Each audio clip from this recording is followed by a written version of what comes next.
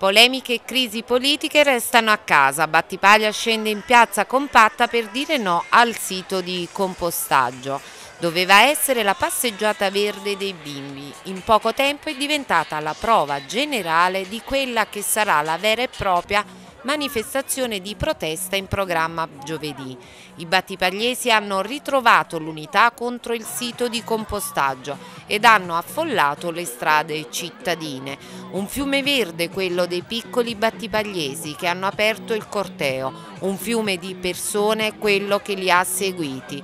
Le divergenze sull'organizzazione e sulle modalità di protestare contro il sito di compostaggio nello STIR hanno lasciato il passo a quella che è la volontà del popolo di Battipaglia Durante il corteo non sono mancati balli e cori che hanno alleggerito la tensione, accompagnando il lungo corteo che ha seguito l'itinerario programmato nei giorni scorsi e ha rafforzato la volontà e l'unione di tutta la cittadinanza. Un flash mob dei ragazzi delle scuole medie per dire no al sito di compostaggio.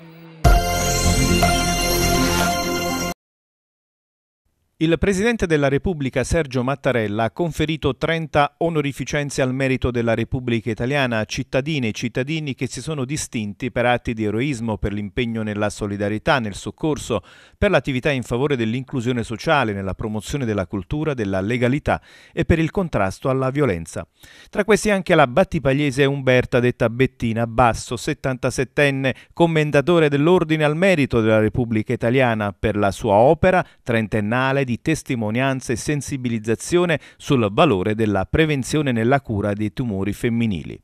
Presidente di AMDOS, Associazione Meridionale Donne Operate al Seno, ha iniziato quasi 30 anni fa la sua opera di sensibilizzazione tra le donne delle province di Salerno, Napoli e Avellino, sottolineando l'importanza di sottoporsi ad esami diagnostici quali mammografie ed ecografie. Oggi in Campania operano 16 sedi dell'associazione Amados con i loro ambulatori che informano le donne e poi le seguono durante le fasi della prevenzione, del follow-up e dell'assistenza psicologica.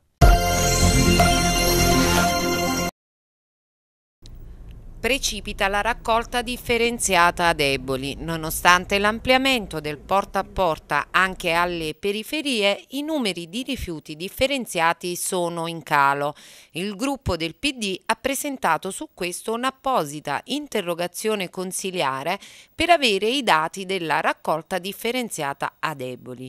È dal 2008 che è stata avviata nel nostro comune la raccolta differenziata porta a porta, raggiungendo in pochissimo pochissimo tempo risultati apprezzabili, fino a sfiorare il 50%, sostiene Infante, ma i dati della raccolta differenziata registrati oggi sono poco confortanti sia in termini di qualità del servizio che in termini quantitativi. Infatti, continua Pasquale Infante, nonostante l'allargamento alle periferie non raggiungiamo nemmeno il 50% di raccolta differenziata e siamo siamo per questo al di sotto della media regionale che è al 60%. Veniamo superati in questo abbondantemente anche dai comuni vicinori, molti dei quali hanno avviato la raccolta dopo di noi, sottolinea Pasquale Infante. Errori dopo errori, i nostri amministratori nulla hanno fatto per incrementare le percentuali e nulla hanno fatto fanno per il relativo completamento del ciclo dei rifiuti. Per questo questo come gruppo del PD abbiamo presentato un'apposita interrogazione consiliare.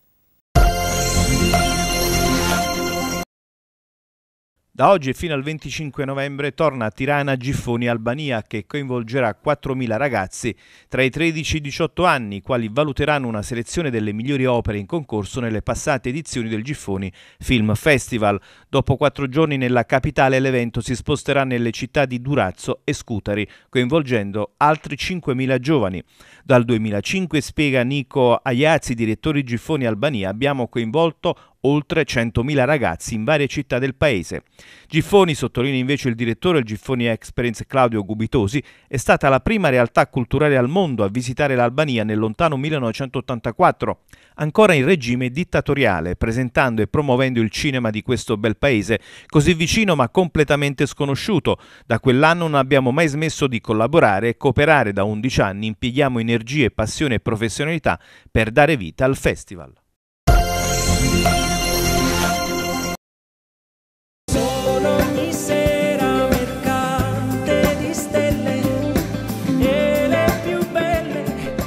Italiano a Napoli è la nuova commedia musicale di Salda Vinci e sarà sul palco del Cinema Teatro Italia uno spettacolo che è una riflessione sulla nostra identità di napoletani, di italiani, di cittadini della Repubblica dei Sentimenti, che poi in fondo nei sentimenti la sua canzone ha sempre abitato, proprio lì, tra passione e sentimento.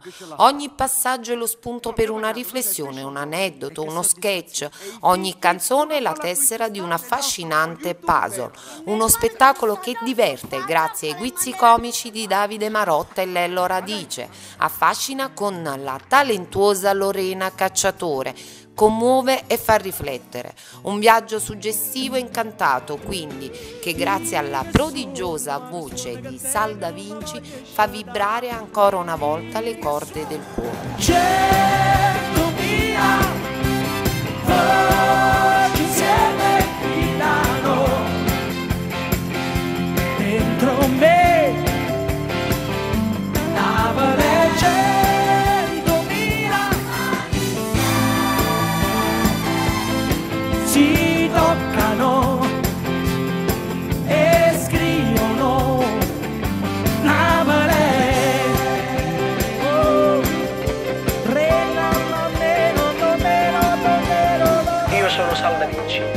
Italiano di Napoli.